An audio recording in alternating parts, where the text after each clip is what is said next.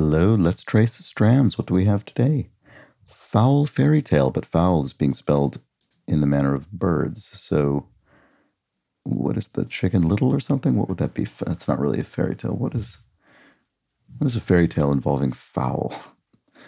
Um, oh, it's annoying that I'm going blank. I'm sure there are, I'm sure there are several obvious possibilities. Well, what could we what can we find? Oh, journey. Yeah. Oh, great. Okay.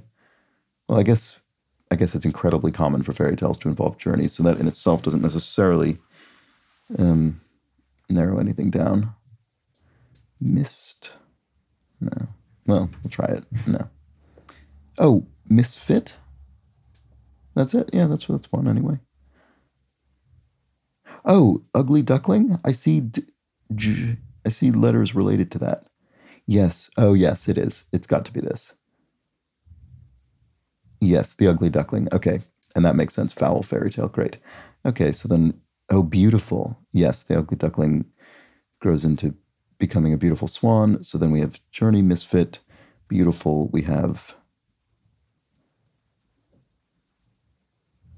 Um, oh, something shun. Uh, not sure.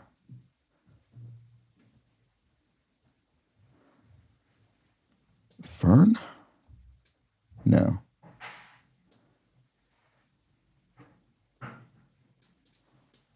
Uh, what is going on? Flea? No, obviously not.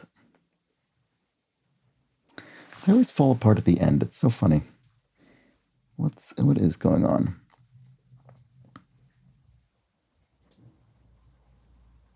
Oh, reflection. Oh, there's right.